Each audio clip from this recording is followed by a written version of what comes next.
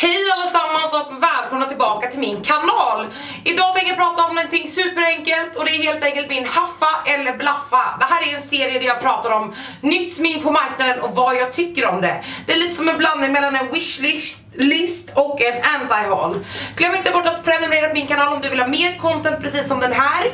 Och jag läser ju också just nu till makeupartist på makeupstudion i Göteborg. Så det kommer flera videor varje vecka som handlar om just det här. Så nu kör vi igång helt enkelt.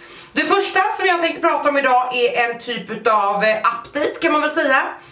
Det här är Too Faced Tutti Frutti kollektion och det här är alltså en kollektion som eh, är väldigt väldigt söt. Jag har pratat om den innan och är lite så här, skulle kunna tänka mig att köpa någonting, vet inte hur det ser ut, Too Faced brukar vara rätt så tråkigt. Men nu har vi fått se hela kollektionen och eh, det som jag är, åh jag ska bara sätta mig lite bekvämare Det som är absolut mest aktuellt är deras nya Do You Foundation och det är alltså en eh, foundation som är dewy och den ser svinfin ut och jag vill jättegärna ha den super super mycket Jag vet inte så mycket om den, jag vet inte när den släpps i Sverige, eh, jag vet ingenting men den är exklusiv till någon butik i USA Om det nu är Ulta Och det brukar oftast betyda att den inte kommer till Sverige Men vi får helt enkelt se Do You heter den i alla fall, jättesugen Ögonskyddpaletterna, nej. Läppglansen, nej. Läppstiften, nej. Några typer av glitterdrops, nej. Sprayen, ding ding ding Too Faced Hangover Spray Den hade jag här men jag vet inte vad det är nu det är en av mina favoritsprayer, eh, älskar den. Skulle kunna tänka mig att testa den nya, speciellt eftersom jag tycker om hangover så mycket från Too Faced. Sedan tycker jag det är jättekul att det är duo blushes. Det är alltså blushes med en skimrig och en matt. I love it. Skulle verkligen kunna tänka mig att köpa det men jag har så mycket rouge att jag kommer aldrig mer behöva köpa ett rouge i hela mitt liv. Så jag vet inte direkt om det är någon prioritering. Så att det som jag egentligen är mest sugen på är ju då foundationen och setting sprayen eller om det var en hydrating mist, whatever. Mists, I love it. Så den får verkligen ding ding ding i mitt eh, liksom lilla, i min lilla bok helt enkelt. Nästa grej är någonting ifrån ett svenskt märke som jag tycker jättemycket om och det är Nevin Cosmetics. De har släppt en ny palett eh, som är rosa, röd, gul, beautiful och den ser jättefin ut, den är inte speciellt dyr, jag tror att den kostar 179 kronor. Och den är redan släppt på Nevin Cosmetics hemsida och det är ett svenskt märke så det är inga konstigheter. Jag tror att de är lokaliserade här i Göteborg om jag inte missminner mig. Jag fick PR från dem en gång för väldigt länge sedan. Jag älskar ju deras highlighter palett som jag har pratat om tidigare på kanalen och det kommer en video som jag redan har spelat in som kommer om ett tag där jag pratar lite mer om Nevin Cosmetics men jag tycker det är ett jättekul släpp. Kul att de håller på att hoppa in i ögonskuggor för det är life. Ögonskugga alltså. Blue. Om ni undrar vad jag har på ögonen idag för övrigt så har jag gjort en video där jag har testat eh, färgpaletten ifrån färgkollektion. Det som är i mitt kit alltså och jag testade de blåa skuggorna och spoiler alert, i love it. Men det kommer senare den här veckan. Så jag ser jättemycket taggad på den här från Nivin Cosmetics Även om den är lite tråkig och lite så generic Att alla har en sån Så tycker jag det är kul att den är så pass billig Att den är svenskbaserad och, och jättefin Super super fin sedan är det någonting som jag pratat om tidigare, eh, men jag vill prata om igen och det är helt enkelt, jag vann en tävling på Lishlash, du vet mina favoritfransar, deras Instagram där man kunde vinna deras fem nya, så här många är fem, inte så här. Fem nya styles på lösögonfransar. Och jag vann den tävlingen så jag väntar ivrigt på att de ska komma hem. Och jag pratade om dem för ett tag sedan innan de släpptes när det var pre-order. Och då var det bland annat Catwoman Intense Catwoman är ju några av mina favoritfransar men det här är alltså Catwoman Intense och I'm a Love Day. Och sedan är det Soft Alert, de har jag pratat om tidigare. Och sedan har de också släppt stylerna Lovely Liz, Not Ordinary och Daydream. Och eh, det är som en ny style i deras, alltså de har 30 dagars fransar och 8 dagars fransar. Och de här tre sista jag pratade om är 8 dagars fransar. Och jag vet inte riktigt vad det betyder. Men de är i alla fall, de kostar 129 kronor styck, jättefina, älskar det. Jag har tyvärr ingen kod med Lishlash just nu men jag brukar ha emellanåt så ni kan väl kika in då. Eh, sen så vet jag också att det är flera utav mina kompisar som är influencers som har en kod med Lishlash så då är det bara att springa in på Smink och Skönhet, min Facebookgrupp och sen har vi en rabatttråd. Tryck där och så hittar ni rabatter. De har jätteofta det men jag såg att de hade, när jag spelade in den här i alla fall, det är inte säkert att det är kvar eh, när ni ser den här, men då hade de i alla fall 20% för att det var sommar. Så jättetaggad på det, de är på väg hem, annars hade jag med stor sannolikhet köpt allihopa för Lishlash är några av mina absoluta fransar. Favoritfransar. Sedan tänkte jag prata om någonting som är lite gammalt nu, men jag vill ändå prata om det för att det är många som har frågat. Och det är hela Dior Backstage Collection. Och det här är alltså en kollektion som Dior släppte, det är kanske en månad sedan nu. Eh, det är en face och body foundation. Det är highlighters, ögonskuggor, eh, alltså jag vet inte, ja men du vet rubbet liksom. Massa fina borstar tror jag det är med. Läppstift, läppglans, det är en jättestor kollektion. Och jag är inte sugen på supermycket, men en sak är jag sugen på och det är highlighterpaletten. Och den är så jävla fin. Oj, oj, oj. Jag såg den på Josefins Beauty, hon heter Josefin Schillerman. Ni kan söka på henne på Youtube. Hon gjorde en superfin sminkning. Jag kommer inte ihåg vad den hette nu den videon, men det var säkert på hennes kanal. Där hon använde den här och jag bara... I'm gonna need day.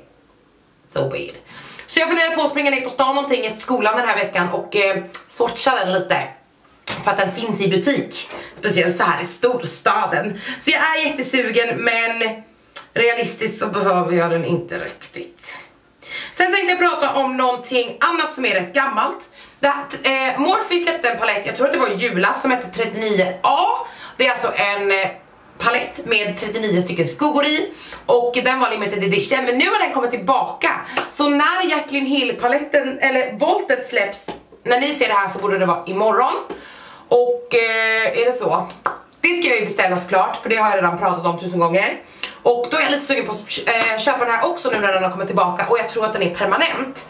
Eh, så den är jag jättesugen på. Är det någon som har den? Är ni nöjda med den? Jag vill jättegärna ha den i alla fall. Så jag tänkte bara att jag skulle nämna den, att den inte längre är limited edition, eller så är den bara tillbakaplockad för en liten svängeluring. Sedan satt jag på Look Fantastic häromdagen, alltså lookfantastic.se och beställde lite grejer till mitt kit. Lite hudvård, lite smörj och kräm och sånt som inte riktigt ingick i vårt kit.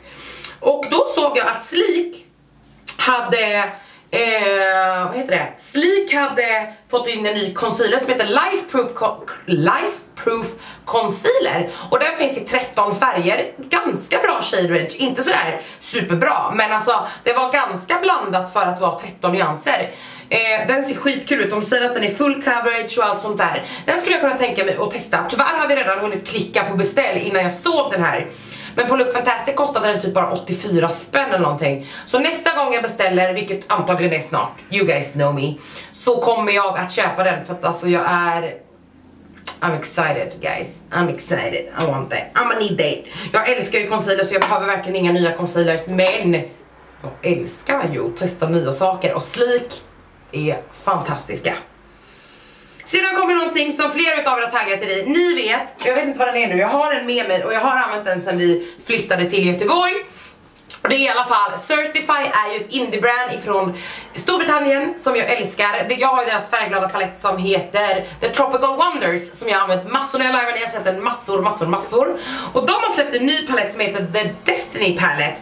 Och det här är då deras höstkollektion. Det är mest röda, rosa, varma nyanser precis som vanligt. Men det är ett jättefint hörn här som är grönt och blått som jag älskar. Den här ser verkligen jättefin ut. Och jag tycker att det är kul att det är några stycken skimmer för det är det inte i Tropical Wonders. De har ju också en annan palett som jag varit lite sugen på som är lite äldre som heter The Dynasty Palette tror jag. Och jag kanske går och beställer båda dessa för att ha allihopa för jag gillar att stötta indie brands och jag älskar Certify och det är bara ett så fint brand överlag.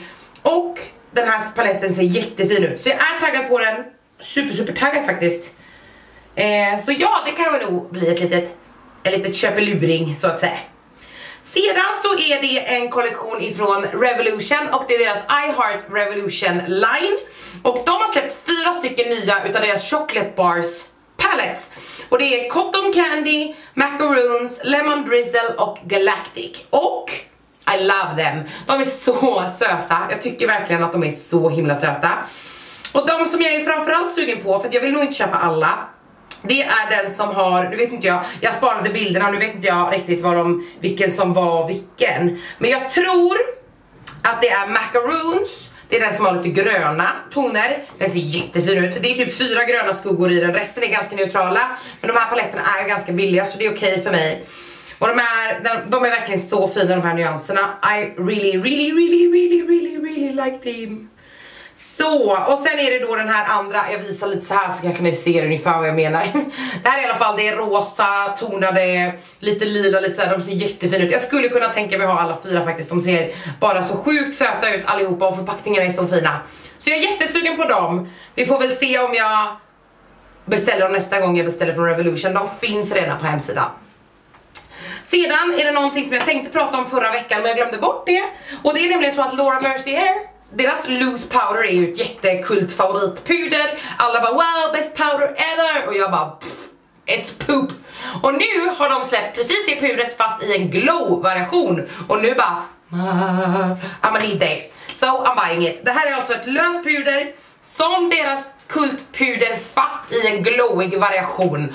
Och I'm all about this. Och då är det någon som skriker men då är det ju bara glitter i den. Och jag bara, men jag gillar glitter över hela ansiktet. Okej? Okay? Så jag kommer verkligen köpa detta. Jag vet inte om det kommer till Sverige men jag såg att det såldes i Australien och Nya Zeeland och sånt redan. Och vi brukar få launchen sen ganska back to back. Så att, eh, I'm gonna buy they. Jag har två saker kvar och det första av de två är Real Techniques by Sam and Nick. Det här är deras nya Brush Crush Galactic tror jag det är Collection. Och det är borstar, det är svampar, det är grejer och don och jävlar vad de är fina. Och jävlar vad de är osmidiga. Alltså de här händelserna är ju dösnygga men så himla osmidigt i handen. Jättefina dock. Jag kan ju säga så här att skulle jag ha dem så skulle jag använda dem till döds för de är so beautiful. Men det är så svårt att säga att jag bara wow, I'm a need Men jättefina, jag gillar ju verkligen Real Techniques borstar super super mycket. Så jättekul tycker jag. Det sista som vi ska prata om idag är en ny release från Blush Tribe och som ni vet, eller det kanske ni inte vet, men jag har inte testat någonting från Blush Tribe än men jag vill ha allt de har släppt. Just nu väntar jag på att en, palett, en utav paletterna ska komma in i stock så jag kan beställa de tre som jag ville ha samtidigt liksom. Och de kommer släppa en ny palett i höst och det här är liksom mockupen, det här är inte en riktig bild på paletten utan det här är så här kommer den typ se ut om man säger. Och den här ser jättefin ut, lite så här, lite dark men ändå färgglad. Och eh, jag tror att det här blir en jättefin höstpalett, super super super taggad. Så att jag kanske väntar lite till den här släpps och den heter för övrigt Fall Fusion. Och jag tycker den är jättefin, paletten ser jättefin ut på utsidan och eh, Blush Try brukar ha jättefina förpackningar överlag så jag är jättetaggad på att den ska komma. Men jag tror att det var allting för den här veckan. Det finns säkert mer saker att prata om, men man kan inte prata om allt. Om ni vill att jag ska prata om någonting nästa vecka, glöm inte bort att tagga mig på Instagram eller prata om det i smink och skönhet, där håller jag alltid ett extra öga. Tack så mycket för att ni tittade på den här videon och så syns vi igen imorgon. Hejdå!